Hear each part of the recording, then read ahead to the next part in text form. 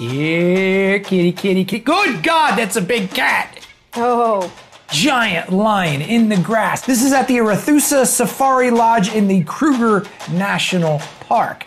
People being very quiet now because they are getting a view of what they came to see. And then some. Ooh, oh, yeah, this is so cool. Little leopard also sitting on a game trail. The people can see the lion, the people can see the leopard. However, leopard does not see this quietly approaching lion. It has its back turned. It's going up the tree. You wait. do lions have a thing for leopards? Lions have a thing for eating. Whatever the spots are, the lion would take the opportunity if it presented itself. And it looks like this lion may have a chance at a big cat fight. Get your cameras ready. Oh, this poor cat.